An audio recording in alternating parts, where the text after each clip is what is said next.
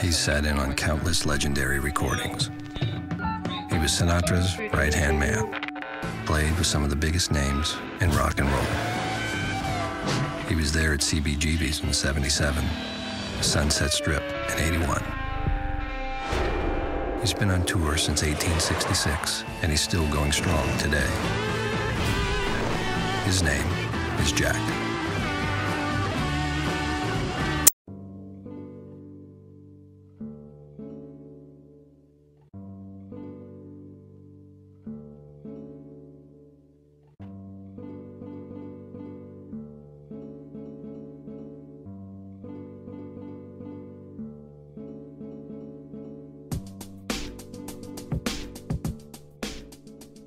One of the exciting highlights because a lot of the other artists one is seeing and uh, one also gets to travel a bit so one is fortunate to see some of the international artists as well. So for me the Students Biennale is actually one of my uh, very special spots to come and visit. I love the work, I love that they've been included in, uh, in an all India perspective and I also like that they get a chance to be included in a biennale of this level. And I think what Riyas said just now was very important. He said we're not looking to intrude onto their spaces, Right. but to get their work and their practice out into Out. the biennale space. And I think Right. that's really amazing. Right. And how do you think uh, projects like Kochi Biennale and Students Biennale are contributing to the growth of contemporary Indian art at the moment?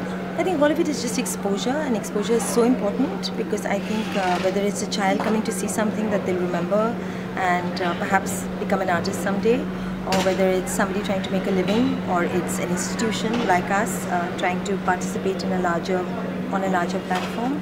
Also, people like Rajan and Radhika Chopra. Um, who've uh, donated particularly to the Students Biennale as patrons so they get to put uh, money into something they believe. Uh, FICA has done an excellent job about actually organizing this and every single young curator.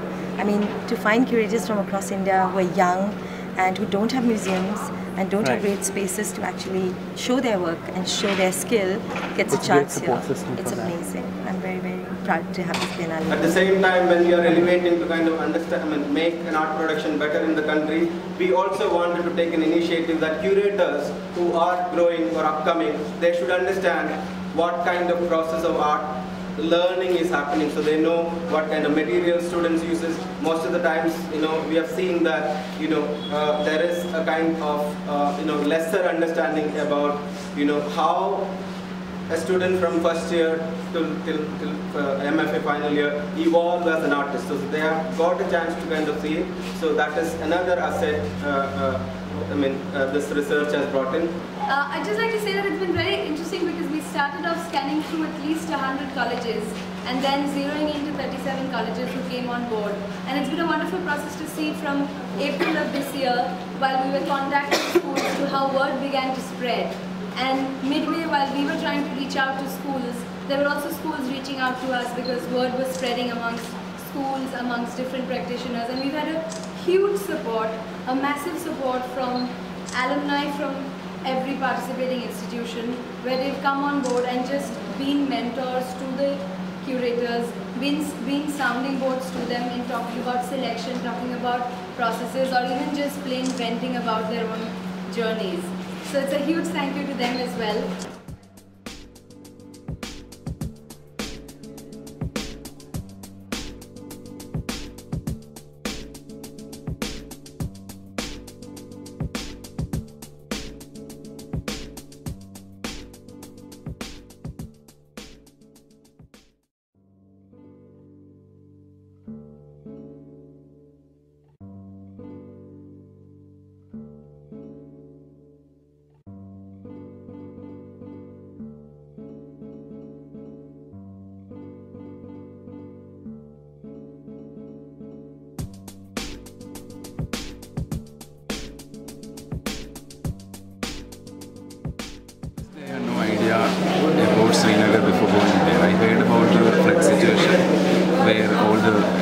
Mostly Srinagar was flooded. So the institution was underwater for like 10 days.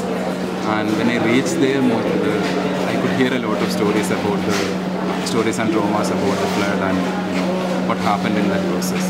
So the institute lost a lot of artwork and students lost almost everything they have made before.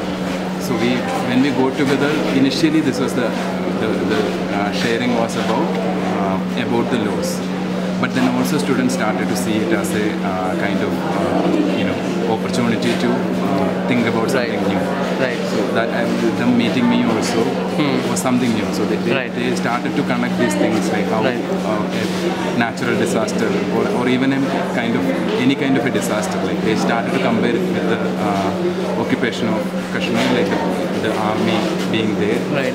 and the uh, flood also, like how, Right. how calamities are changing the course Right. of events. So then they wanted to create something out of it, out of the flood material itself.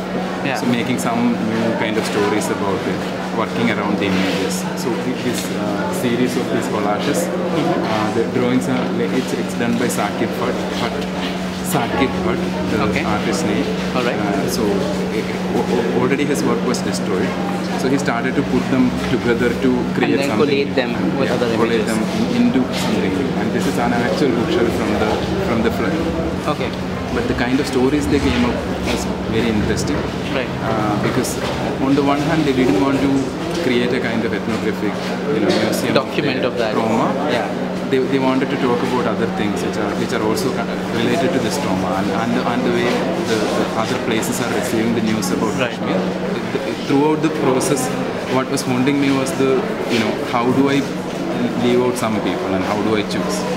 I didn't have a major kind of a you know uh, uh, theme or thematic or anything to work on because I didn't know about these places. So I wanted to go there. I wanted to see what kind of pedagogy is there, what kind of practices they are doing, Right. and what is in their mind when they are making something. Right. So I was open to uh, making a curatorial with them.